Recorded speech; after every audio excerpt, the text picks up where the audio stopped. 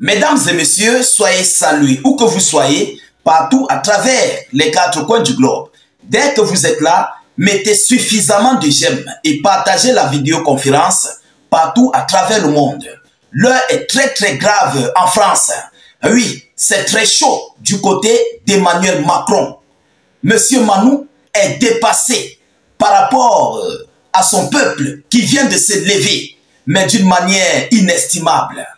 Alors, les Français sont remontés contre la gestion de M.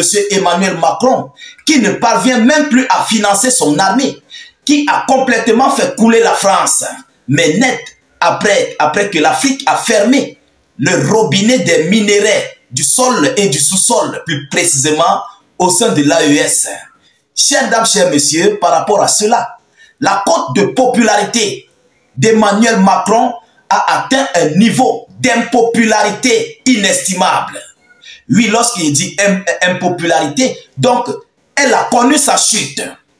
La cote d'impopularité d'Emmanuel Macron est encore descendue d'une manière très basse par rapport lors euh, des élections législatives il y a de cela quelques mois. Je pense que c'était en juin ou en juillet. Chers dames, chers messieurs, je vais entrer dans les chiffres tout à l'heure.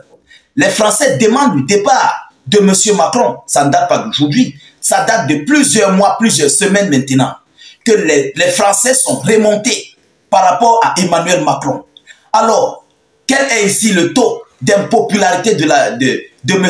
Emmanuel Macron sur le territoire français? Il y a eu un sondage.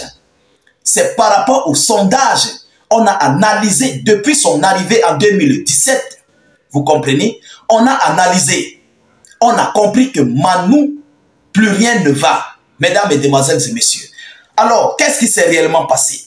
Selon les informations officielles, on dit le président français Emmanuel Macron atteint une cote d'impopularité sans précédent depuis 2017. Une cote d'impopularité sans précédent depuis 2017. Alors, cela veut dire quoi? Ceux qui soutenaient Manu sont en train de se retirer petit à petit à leur soutien à Emmanuel Macron. Il est en train de connaître une chute. Je vous dis que s'il y a un autre dirigeant qui se présente face à Macron, il ne pourra jamais gagner. Oui, même si c'est un ancien dirigeant français, Macron va tomber. Il va tomber. Alors, qu'est-ce qu'on dit selon les informations officielles? Le président français Emmanuel Macron a atteint une cote d'impopularité sans précédent après avoir été élu président de la République en 2017, où il atteint en ce mois de novembre 2024 le faible score de 17%. Massa, partagez-moi la vidéo. Il atteint un faible score du jamais vu, du jamais connu, depuis qu'il est au pouvoir, à 17%. Chers dames, chers messieurs, ça montre que, même moi-même si je me positionne en France, je vais complètement gagner Emmanuel Macron dans les élections.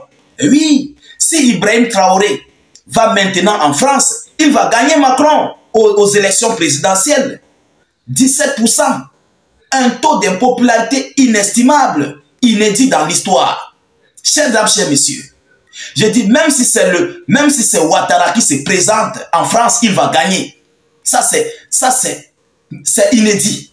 Vous comprenez? Alors, par rapport à cela, il continue en disant, ainsi que sur euh, l'indice de confiance de 2017 qui a baissé de 57% à 17%.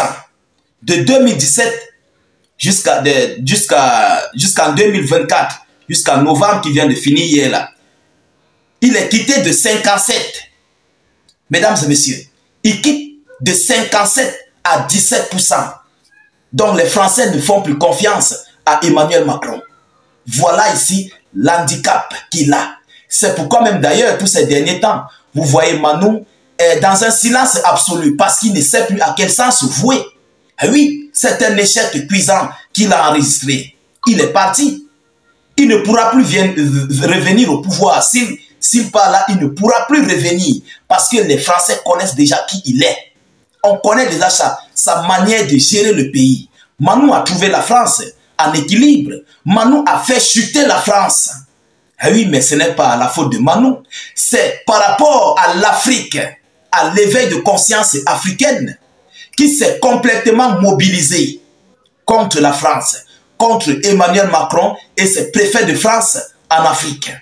Eh oui, on a vu dans, dans l'AES, au Mali, au Burkina Faso, au Niger, on a en parlé. Ce sont les robinets phares où Macron puisait ici de l'uranium. Il prenait de l'or au Mali et tout ce qui s'ensuit, manganèse et autres, pour amener du côté de la France. La France n'a pas, n'a pas de minéraux sur son sol, bien sur son sous-sol. Mais la France est troisième ou quatrième producteur d'or dans le monde.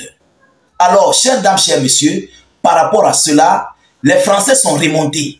La confiance envers Emmanuel Macron a chuté à ce niveau record. Mais l'information continue en disant, il est quitté de 57 à 17% et seulement 22% des Français estiment que le président Macron est un bon président selon IFOB.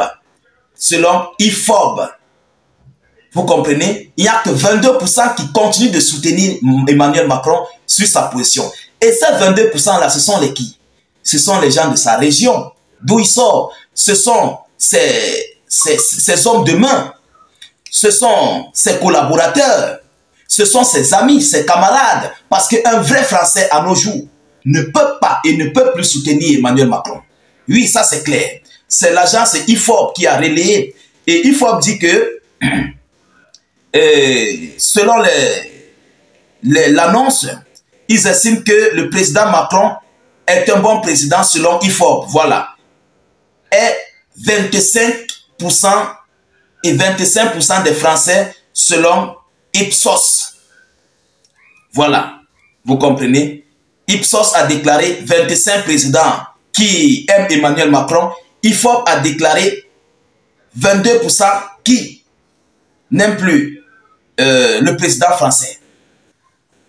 Mesdames et messieurs, voilà ce bilan record que Emmanuel Macron vient encore d'enregistrer. Comme vous-même, vous pouvez le voir en image, je vais essayer de faire mes efforts, de mettre le pourcentage en image. Et oui, ce n'est pas moi qui le dis, ça vient des informations officielles.